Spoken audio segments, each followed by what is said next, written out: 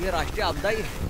आपको मालूम होगा कि महाराष्ट्र के मुख्यमंत्री उद्धव ठाकरे साहब ने देश में पहली बार ये कहा था, ये नेशनल कैलामिटी है। उसको राष्ट्रीय आपदा घोषित करो, इस प्रकार का सूचना और खत प्रधानमंत्री जी को लिखा था। आज सुप्रीम कोर्ट भी महाराष्ट्र के मुख्यमंत्री की जो भाषा है या उनका जो सुझाव है, उसका ऊपर मोर उठा रही है। ये देश की जो स्थिति है, जो हालत जो हम देख रहे हैं तो ये नेशनल कैलामिटी है, ये राष्ट्रीय आपदा है। सर्वोच्च न्यायालय ने ये कहा है, उसके लिए हम उनके आभारी हैं। लेकिन महाराष्ट्र के मुख्यमंत्री ये बार बार एक महीने से बोल रहे हैं, प्रधानमंत्री जी को या केंद्र सरकार को गृह मंत्री को, कि आप जल्दी से जल्दी इस महामारी को, इस संकट को राष्ट्रीय आपदा घोषित करो। तो कहीं ना कहीं देखिए, आप सुप्रीम कोर्ट हो या हाई कोर्ट हो, सब एक्टिव हो गए। क्योंकि कोरोना लगता है कोर्ट तक पहुँच गया है। उनके घर तक पहुँच गया है। लेकिन कोरोना किसको छोड़ता नहीं, कोई छोटा हो या बड़ा हो। और मैं न्यायालय की चिंता को वाजिब समझता हूँ जिस तरह से न्यायालय, सर्वोच्च न्यायालय या हाई कोर्ट्स जिस तरह से इस पूरे मामले में अब एक्टिव हो गए तो उससे कुछ ना कुछ देश को फ़ायदा ही होगा।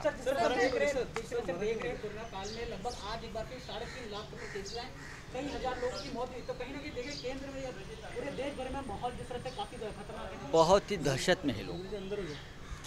लोग दहशत में है लोग सदमे में है।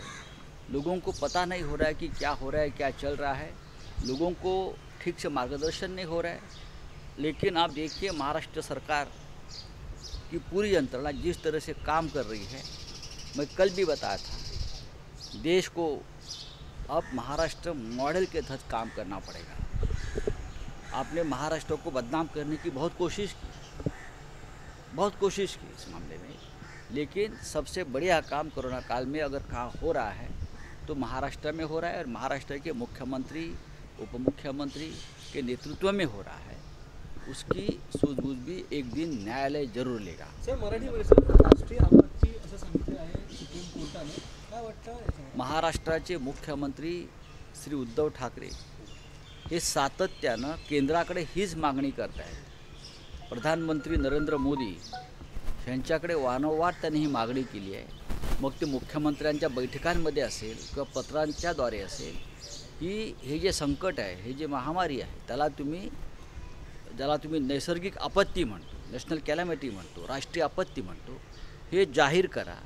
कारण देशातली आजची स्थिती पाहता हे राष्ट्रीय संकटच आहे. हे जगानंसुद्धा मान्य केलं आहे पण आतापर्यंत राजकारणी हे सतत महाराष्ट्राला बदनाम करत राहिले. पण आज महाराष्ट्र ज्या पद्धतीनं या संकटाशी सामना करतो आहे मुख्यमंत्री उद्धव ठाकरे यांच्या नेतृत्वाखाली त्याची दखल सगळ्यांनाच घ्यावी लागेल. आणि हे जे महाराष्ट्र मॉडेल आहे बरं का? ते एक दिवस या देशाला वापरून महामारीशी लढा द्यावा लागेल. माझ्याकडे माहिती नाही त्याविषयी. शेवटी तो एक शासकीय कायदा या संदर्भातला विषय मला माहिती आहे धन्यवाद. सरकार राज- अ, राज्य मंत्रिमंडळाच्या बैठकीत पुन्हा एकदा केंद्रावर नाराजी नाही बघा महाराष्ट्र सरकारनं जर काही मागणी केली असेल केंद्र संदर्भात. विशेषतः लसीची मागणी आहे. लसीचा तुटवडा का होतो आहे? याला जबाबदार राज्य सरकार नाही. कारण शेवटी हे सगळं नियंत्रण केंद्र सरकारचं आहे. केंद्र सरकारच्या परवानगीशिवाय ना लस मिळत ना औषधं मिळत ना इतर साहित्य मिळत त्याच्यामुळे जर राज्य मंत्रिमंडळामध्ये याच्यावर नाराजी व्यक्त केली असेल तर ती टीका न समजता ती सूचना समजायला पाहिजे. तर वॅक्सिनेशन सेंटरच्या बाहेर देखील लोकांच्या मोठ्या रांगच लावून आपल्याला पाहायला मिळत आहे सामान्य जे लोक आहेत या संदर्भात बघा या संदर्भात. या संदर्भात आरोग्यमंत्री जास्त बोलू शकतात. आरोग्यमंत्र्यांशी तुम्ही चर्चा केली पाहिजे. धन्यवाद.